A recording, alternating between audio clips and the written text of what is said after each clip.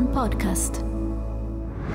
Le temperature che salgono, i mari che si innalzano, gli eventi meteo sempre più estremi, ma anche nuovi modi di generare energia, di spostarsi, di produrre e di consumare. Io sono Luca Fraioli e questo è Pianeta Green and Blue, un podcast di approfondimento settimanale dedicato alla Terra, ai cambiamenti climatici, alle conseguenze che stanno avendo e alle soluzioni per scongiurarle. Pianeta Green and Blue, un podcast di Luca Fraioli. Il ritorno del nucleare, anche in Italia. Mai, come in questo periodo, si discute della possibile riscoperta dell'energia atomica per contribuire a risolvere tutta una serie di problemi, come per esempio ridurre la dipendenza del paese dai combustibili fossili, quelli importati da nazioni poco affidabili, quale si è dimostrata essere la Russia, per esempio, o ridurre le emissioni di CO2 per contrastare la crisi climatica in atto.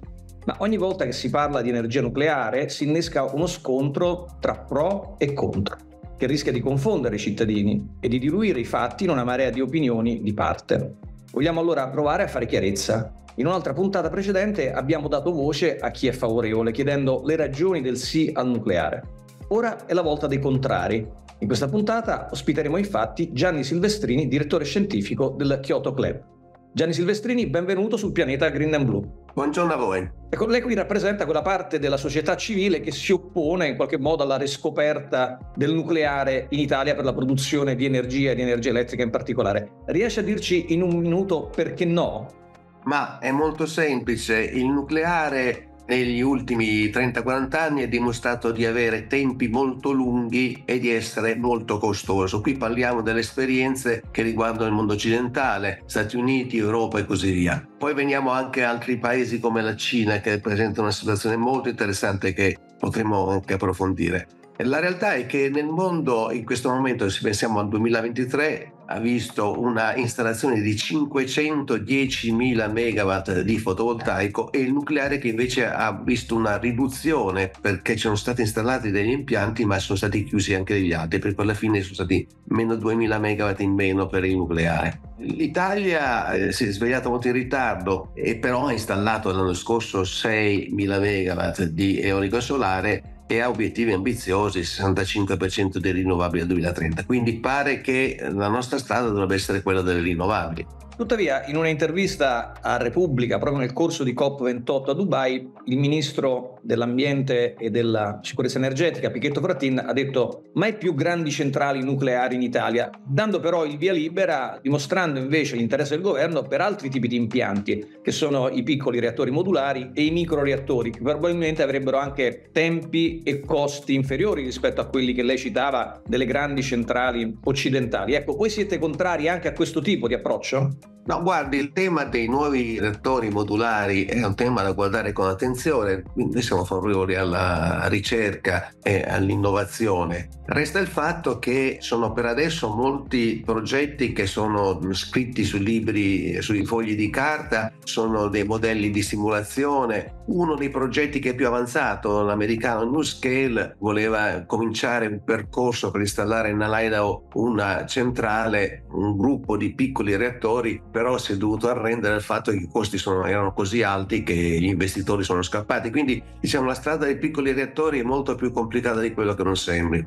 L'Agenzia internazionale per l'energia atomica, numeri alla mano, nega però che il nucleare nel mondo sia in ritirata e cita tutta una serie di nuovi impianti, effettivamente soprattutto in altre parti del mondo che non siano l'Europa o gli Stati Uniti. Ecco, lei faceva prima accenno alla Cina, ma altri paesi dimostrano che è fattibile anche in breve tempo. Gli Emirati Arabi Uniti è l'esempio classico che viene fatto. In 12 anni si sono dotati di tre reattori nucleari allacciati alla rete, quindi che già immettono energia elettrica in rete. Perché questi esempi non vi convincono, quelli di paesi che non appartengono al blocco occidentale, diciamo? Ma guardi, il nucleare nei prossimi 30-50 anni avrà un suo ruolo, perché ci sono paesi come la Francia che già ce l'ha, la Russia, la Cina, alcuni paesi arabi che peraltro parlando della Russia, Cina e paesi arabi il controllo democratico è molto limitato, continueranno a farlo, questo non c'è dubbio. La domanda reale però è in un contesto che è in rapidissima evoluzione perché il mondo in cui viviamo adesso vede un progresso incredibile delle fonti rinnovabili, sistemi di accumulo, interconnessioni.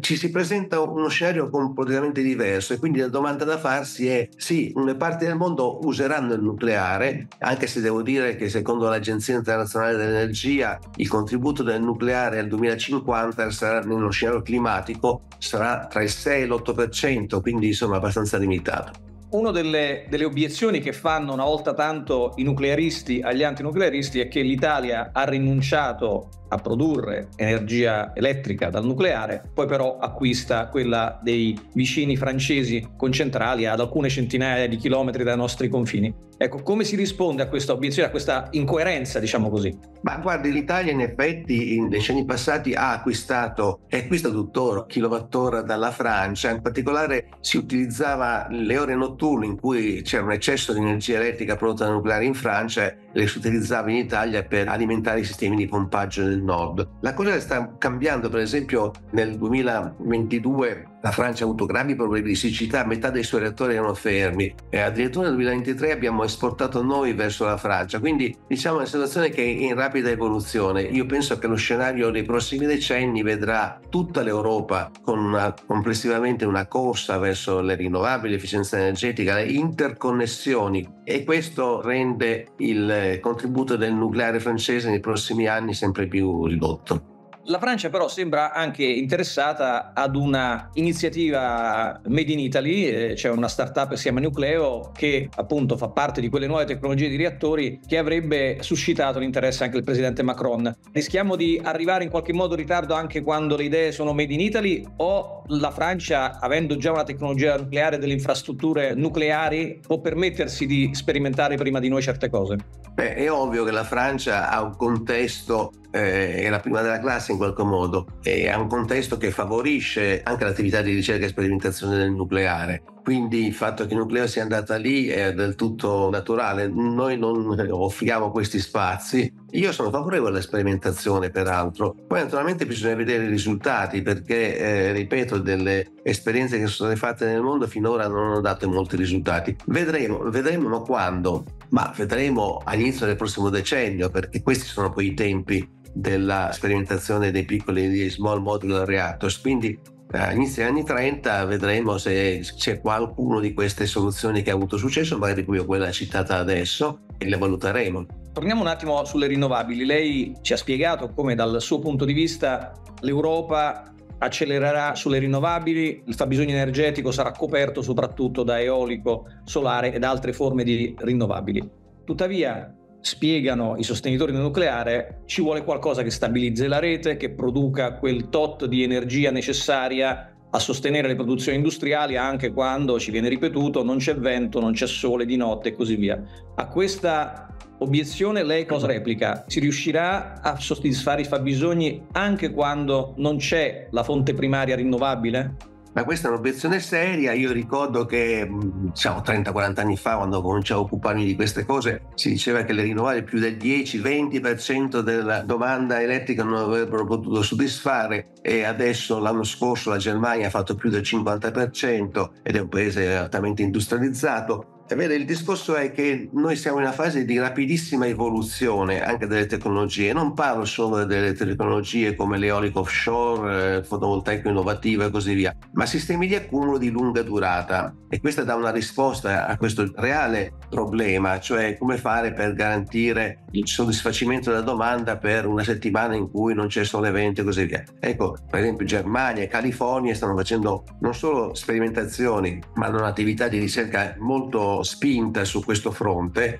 perché dobbiamo, e abbiamo anche delle aziende italiane, ci sono tre aziende italiane che lavorano sull'accumulo di, di media durata, diciamo 10-15 ore e poi vedremo i giorni e le settimane. Quindi diciamo che questo tema può essere il tema di una produzione rinnovabile intermittente, che però è sempre più prevedibile, perché ci sono dei software che consentono di prevedere abbastanza fino a 10 giorni, c'è un sistema di intelligenza artificiale di Google che consente di dare risposte estremamente interessanti in tempi rapidi e quindi noi avremo interconnessioni tra vari paesi, tra l'Africa e l'Europa. Io immagino che un periodo con grande potenza eolica eh, noi avremo produzione del vento che dal nord Europa, dei mari del nord, scende verso il sud Europa e viceversa il periodo in cui l'Europa del sud, Italia e Spagna in particolare, con molta radiazione solare, producono energia solare che venga iniettata nei paesi dell'Europa. Quindi dobbiamo avere una visione che non è nazionale ma è europea e probabilmente anche sovranazionale. E avremo l'idrogeno che può fornire un sistema di soluzione, quindi avremo la possibilità con strumenti sofisticati di garantire meglio la produzione nei giorni successivi. Avremo sistemi di stoccaggio sempre più raffinati e sempre più di lungo termine, avremo interconnessioni internazionali, tutte queste soluzioni stanno cambiando totalmente il panorama energetico dei paesi industrializzati. Anche queste soluzioni però, come ci spiega lei, sono in evoluzione, hanno bisogno di tempi per maturare, mentre invece sappiamo che c'è una certa fretta nel risolvere il problema climatico, nel ridurre le emissioni di CO2, tanto che persino un'attivista come Greta Thunberg si è detta favorevole al nucleare pur di ridurre le emissioni. Allora ecco, le chiedo davvero in modo forse banale e brusco, dovendo gettare dalla torre il nucleare o i combustibili fossili, lei chi butterebbe giù? Cioè che cos'è peggio in questo momento per il pianeta?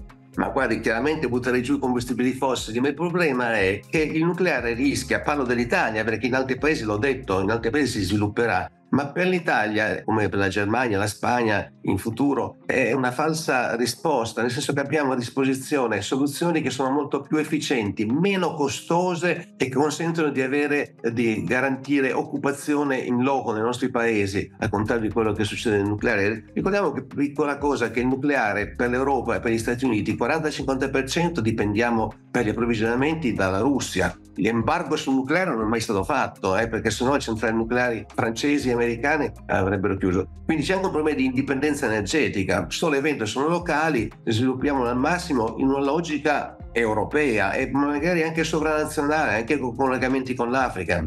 Finora abbiamo parlato di fissione, quindi la produzione, la reazione che ormai più o meno sappiamo padroneggiare, che spacca gli atomi e produce energia. Naturalmente sappiamo che si lavora anche sulla fusione, non si è ancora raggiunto il sacro graal della fusione capace di produrre energia in modo continuativo, però ci sono annunci, speranze, start-up finanziate anche da protagonisti eh, dell'economia italiana. Qual è il suo punto di vista sulla fusione? È quella la strada per correre o è soltanto uno dei tasselli su cui fare ricerca, ma non la vede come una prospettiva possibile? Ma guardi, io della fusione ricordo che negli anni 90 si diceva fra 30 anni, poi nel 2000 fra 30 anni, nel 2010 fra 30 anni, adesso nel 2020 si dice progetto ITER nel 2050, cioè fra 30 anni. Cioè è giusto fare ricerca, però non, molta, non ho molta fiducia su questa possibilità. Ringrazio Gianni Silvestrini, direttore scientifico del Kyoto Club. Grazie. E agli ascoltatori do appuntamento alla prossima puntata di questo podcast. Il pianeta Green and Blue vi aspetta. Pianeta Green and Blue, un podcast di Luca Fraioli, a cura di Ernesto Manfred. Una produzione One Podcast.